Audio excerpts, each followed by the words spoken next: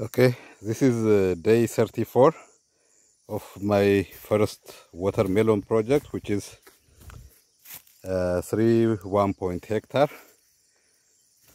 Uh, so this side looks good, but again, some ridge, there is gaps. Uh, this is, I think, died during cultivation and fertilizer application.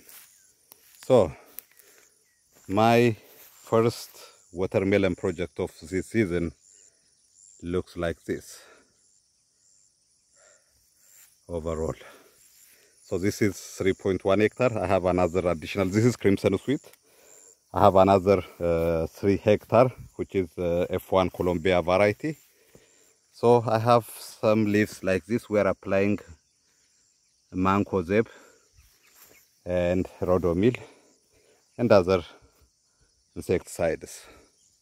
Yeah, in this field there are so many gaps, but overall my farm, my water melon project looks like this. Uh, more or less the leaves looks healthy, but there are some in between should I concern about this? We are applying chemicals. I think the last time we applied is a week ago. We are looking to apply uh, mancozeb tomorrow.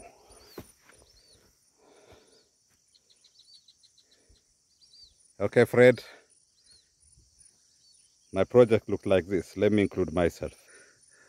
Here is Daniel Alamu in South Omo, uh, near to Kenya border. I, I think I'm some 50 kilometers from the border area. It was great talking to you uh, today and looking forward to hear your feedback on uh, my project. Thank you.